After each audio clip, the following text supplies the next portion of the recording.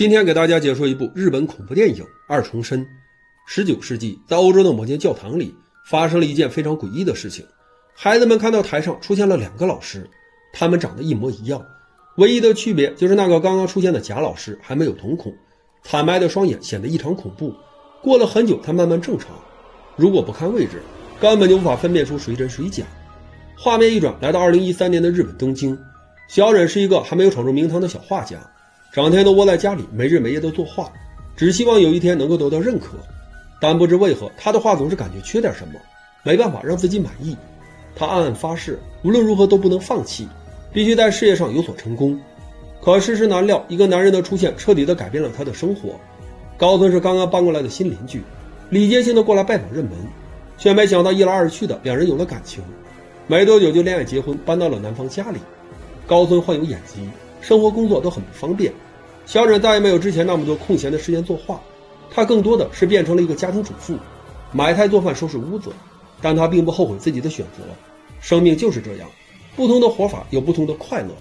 可改变的不仅仅是这种表面上的东西，还有一些恐怖的存在正渐渐袭来。去超市购物的时候，他突然被里面的工作人员抓获，说钱是假的。监控里可以清晰的看到，半个小时之前他才刚刚过来购买东西。花的钱和现在这张钞票上的编号一模一样，很明显是在恶意使用伪钞。小忍大声地喊着冤枉，这里面一定是有什么误会。他并不记得自己来过两次超市，但工作人员已经选择报警。探长加纳很快就赶到了这里，只不过他并没有为难小忍，而是把他强行地拽到外面，从身上拿出两张号码相同的钞票，让小忍不要眨眼，好好看着。其中一张钞票诡异地消失不见了。紧接着，探长又带着他来到一间别墅。管家已经在此等了多时，提醒小忍去走廊尽头的右手边的房间，那里有人等他。虽然不明白是怎么回事儿，但小忍还是按照对方的指示推开了那扇房门。里面正坐着两个年轻的男女，他们也好奇地看了过来。这时候，房子的主人从身后出现，调侃说：“难得有新人加入。”一开始，小忍还以为这里是宗教聚会，下意识地想要拒绝。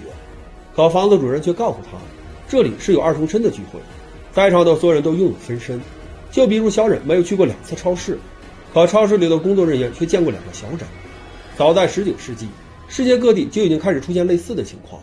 分身也同样拥有肉体，能自主行动，连声音都一模一样，是最完美的复制品。他们拥有本体的记忆，也能留下新的记忆，外人根本就看不出两者的区别。男孩小忍就被自己的分身抢了女友，先一步和对方上床。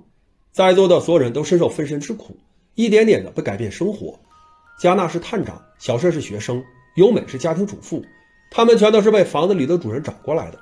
最早发现分身的人就是他，所以才组织了这个受害者联盟。下一步他们会重点保护小忍，让他随时随地的听从安排。可对小忍来说，这简直就是天方夜谭。他从来没有见过另外一个自己。超市里的监控肯定是出了问题。世界上怎么可能会出现一模一样的人？说着，他就走出房间，想要离开这个莫名其妙的地方。可没想到，他刚刚来到大厅，就如愿以偿的见到了另外一个自己。不管是穿着打扮还是样貌气质，都和他没有区别。瞳孔一点点的钻了出来，小忍被吓得连连后退。镜子里就只有一个人影，只可惜他没有注意到这个细节。同伴们也全都跑了出来，分身小忍一点点的消失不见。直到此时，他才彻底相信二重身的传说。房子主人没有撒谎，主妇由美开车把小忍送了出来，同时也讲述了关于他自己的分身。儿子得了不治之症，为了方便照顾，还特意辞去工作，时时刻刻的陪在身边。分身就是在这个时间段里突然冒出来的。有时候他会以自己的身份把儿子从医院带走，好几次都差点病发身亡。他也不清楚分身为什么要伤害儿子，能做的就只有尽力守护，还顺便提醒小忍要关注一下身边最重要的东西，别让分身得手。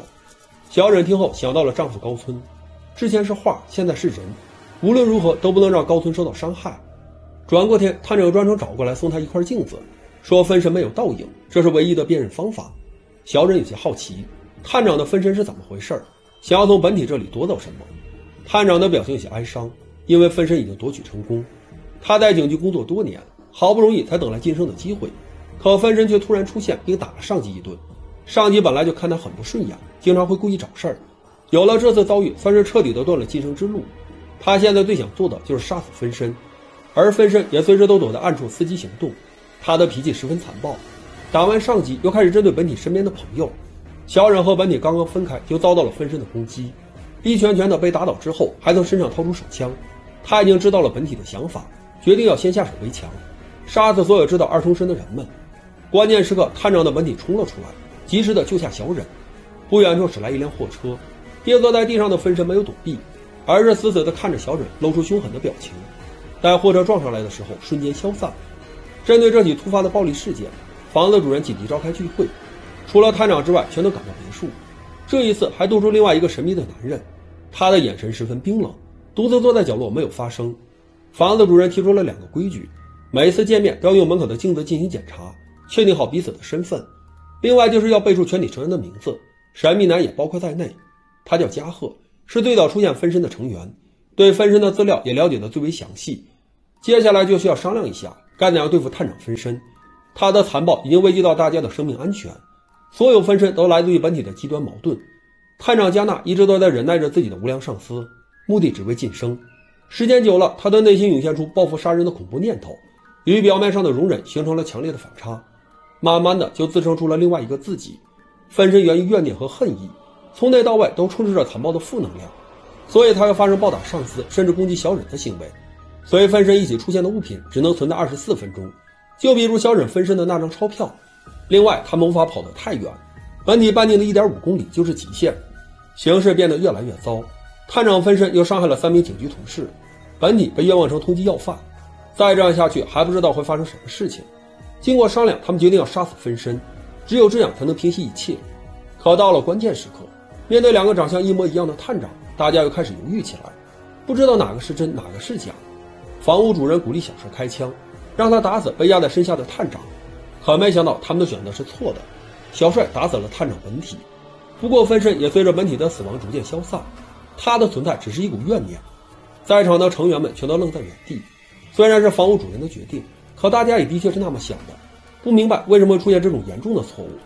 探长分身在消失前警告他们要多加小心，其他人的分身会为自己报仇。从现在开始，双方正式宣战。成员们第一时间都想到了身边最重要的东西。小忍搬回到了之前的那间画室，他打算躲在这里画画，就算分身来了也不能伤到丈夫。由美送给儿子一块镜片。告诉他，只要见到妈妈就照照镜子，没有倒影就是假的妈妈，到时候再想办法快速逃跑。而小帅却成了第二位遭遇攻击的对象。察觉到不对劲儿的时候，他就立刻给房屋主人打去电话，询问对方该怎么办才好。可房屋主人却告诉他不要反击，什么都别做。虽然不明白是怎么回事儿，但任何人面对攻击都不可能无动于衷，打不过也懂得如何躲避。分身把他压在身下，抡起拳头，而小帅却下意识的脑袋一偏。让对方直接跌出窗外。虽然他反应灵敏，又徒手抓住窗边，但小帅也并不好惹。他知道彼此间拥有着神奇的感应，便拿起碎玻璃狠狠地割破手掌，导致分身也同样受伤，失去力量从楼上跌落下去，化成一团黑影，消失得无影无踪。另一边，医院里也出现了优美的分身。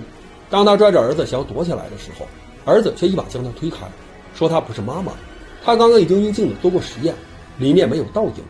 由美听后，仿佛想到了什么，呆呆地愣在原地。这时候，另一个自己也冲进房间去看望儿子。原来他才是假的分身。之所以会出现这种情况，是因为本体产生了强烈的矛盾，儿子根本就没有治愈好的机会。看着他每天都那么痛苦，还不如把他杀死，一了百了。可这毕竟是自己的亲生骨肉，心里又出现了保护他的念头。在这种一反一正的反差当中，诞生了由美的分身。本体是结束痛苦，分身是保护儿子。所以说他才是假的那个。幸存下来的这几个人悄悄地在私下会面，他们认为房屋主人存在问题，他并不是想要阻止攻击，而是推波助澜。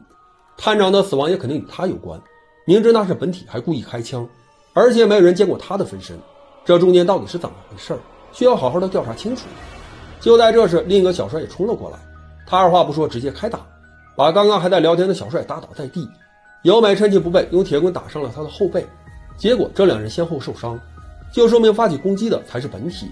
只有本体受伤，分身才会跟着出现伤痕。与他们一起聚会商量的是个冒牌货。见两人又重新打在一起，由美和小忍立刻转身逃离，他们不想再参与其中。可没想到在半路上会遇见另外一个由美，他也和刚刚的小帅一样，毫不犹豫地发起攻击，目的只为保护儿子。死的是由美本体。小忍急匆匆地返回家里，看着镜子里的倒影，产生怀疑。他不知道自己是真是假。别墅里的成员越来越少。小忍质问房主是不是要故意杀死探长，房主没有否认。探长的分身太危险了，他必在事态变得严重之前就进行管控，目的只为保护大家。随后，神秘男又带着小忍来到一家疗养院，这里由房主的家族经营管理。十年前，他跟一个名叫小百合的女人相遇，并在此结婚。可没想到，这个结婚对象是疗养院里的一位女性患者的分身。当本体发现这件事情之后，因为承受不了内心的打击而跳楼自杀。本体死亡，分身也会彻底消失。从那时开始，房主便创立组织，保护拥有二重身的人们不受伤害。他和神秘男都是组织里的普通人，没有分身。之所以会揭晓谜底，就是让小忍明白他们没有恶意，不管是本体还是分身，都应该受到保护。小忍仿佛想到了什么，头也不回地跑出墓地。可不一会儿，又走过来了另外一个小忍，他好奇地询问神秘男是谁。这两人是第一次见面。别墅里有两个房间，右手边的是分身者集会，左手边的是本体者集会。分身可以通过镜子看到自己的倒影，别人无法看到；而本体却可以让任何人看到。神秘者只会待在分身者的房间里面。房主让他们抱住姓名，是为了进行区分。认识神秘男的都是分身。小忍会出现这种情况，是因为他产生了画画还是成家这两种截然相反的念头。从始至终出现的小忍基本上都是分身，本体还是喜欢画画，大多数时间都留在了工作室里。可是他的绘画技巧却始终没有突破。获奖的这幅作品反倒是结婚后的分身画的，原因非常简单，有时候人需要走出去才能有重大改变。至于分身和本体该如何选择，就是仁者见仁，智者见智了。比如小帅，他们已经打算统一阵线，共同生活。首先要做的就是杀死房主，没有他就不会有这么多的麻烦。另一边，小忍的分身和本体也再次相见，他们两个很有意思。分身既有事业又有家庭，过得比本体还要幸福。但她已经知道了自己的真实身份，甘愿消失，让本体好好的陪伴丈夫，继续以后的生活。可本体根本就不认识那个男人，而且她一心想要发展事业，怎么可能会改变自己？最后，她和房主的本体妻子一样，选择自杀。陪在丈夫身边的分身小忍也顺理成章的消失不见了。但这部影片还设计了第二版结局，本体的死亡没有影响到分身的命运，原因是她怀孕了，新生命的孕育让她由虚变实，和丈夫幸福的生活在一起。电影到此结束。